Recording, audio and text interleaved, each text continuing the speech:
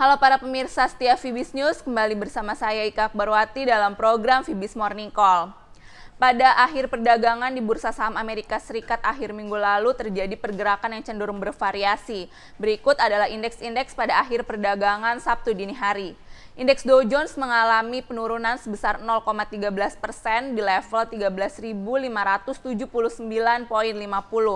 S&P 500 turun tipis 0,01 persen dan ditutup di posisi 1460,15. Nasdaq tampak mengalami kenaikan sebesar 0,13 persen dan berakhir di posisi 3179,96.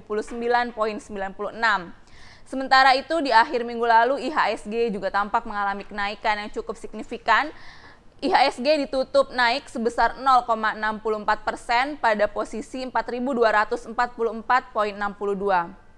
Sementara itu pada perdagangan Senin pagi ini, nilai tukar euro tampak bergerak nyaris flat dibandingkan penutupan perdagangan akhir minggu lalu.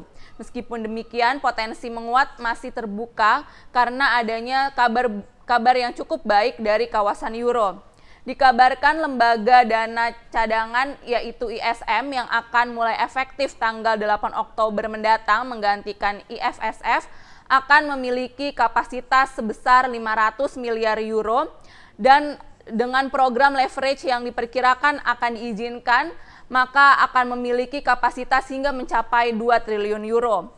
Pada hari ini nilai tukar euro berada di posisi 1.2979 mengalami penurunan tipis saja dibandingkan penutupan perdagangan akhir minggu lalu yang ada di level 1.2980. Untuk hari ini, euro diperkirakan akan mengalami pergerakan pada kisaran 1.2950 hingga 1.3020. Demikian Fibis Morning Call, semoga bermanfaat, tetap semangat berinvestasi dan salam Fibis.